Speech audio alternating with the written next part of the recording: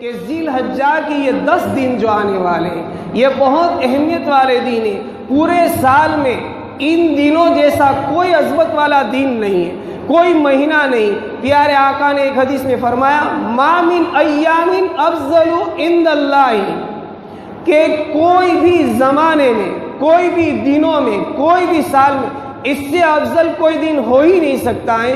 وَلَلْعَمَلُ فِي نَحَبُ إِلَى اللَّهِ۔ اور کوئی عمل اللہ کو پسند نہیں ہے۔ ان دس دنوں میں جو عمل کیا جائے اس سے زیادہ۔ پھر آپ نے فرمایا کہ فَأَكْثِرُ فِيهِنَّ مِنَ التَّحْلِيلِ وَالتَّذْكِيرِ وَالذِّكْرِ کہ ان دنوں میں تم سب سے زیادہ اللہ کا ذکر کرو، اللہ کی تکبیر بیان کرو، اللہ کی تحلیل بیان کرو، اللہ کے رسول پر تم درود پڑھو۔ اور آگے آپ نے فرمایا، وَإِنَّ سِيَامَ يَوْمٍ مِّنْهَا يَعْدِلُ بِسِيَامِ سَنَةٍ۔ اور اس دس دن حجات کے نو دنوں میں سے ایک دن کا روزہ رکھنا ایک سال کے روزوں کے برابر ثواب ہے۔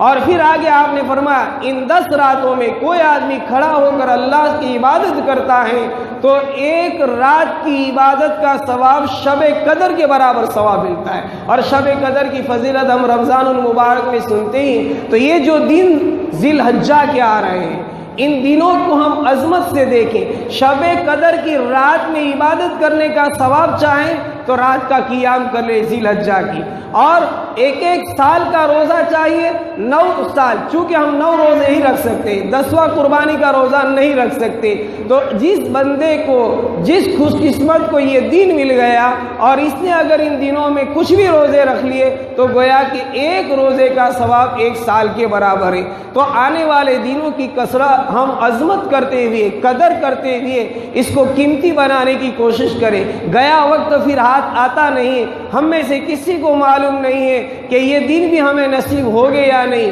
اگر نصیب ہو گئے تو کچھ تو عمل کر لیں۔ اور دیکھیں، اس حدیث میں اللہ کے نبی علیہ السلاۃ والسلام نے جو عمل کرنے کا فرمایا، اس میں کوئی قید نہیں لگائے۔ آپ نے فرمایا فَأَقْسِرُوا ہن کہ اس میں زیادہ سے زیادہ عمل کرو۔ تو کیا کرنے کا؟ منت تحلیل و تکبیر و ذکر لا الہ الا اللہ کی کثرت پڑھا کرو، اس میں کوئی وضو کی ضرورت نہیں، کوئی جگہ کی ضرورت نہیں۔ آپ اٹھتے بیٹھتے، چلتے پھرتے، آتے جاتے، کسی حال میں بھی ہو، تھوڑا بھی ذکر کر لیں گے تو عزیز و اس میں ذکر کیا، قیامت کے دن ہمارے لیے سفارش کا سبب بنے گا۔ اس میں ہم نے ذکر کیا، قیامت کے دن رفع درجات کا سبب بنے گا۔ ہمیں معلوم ہے کہ جنت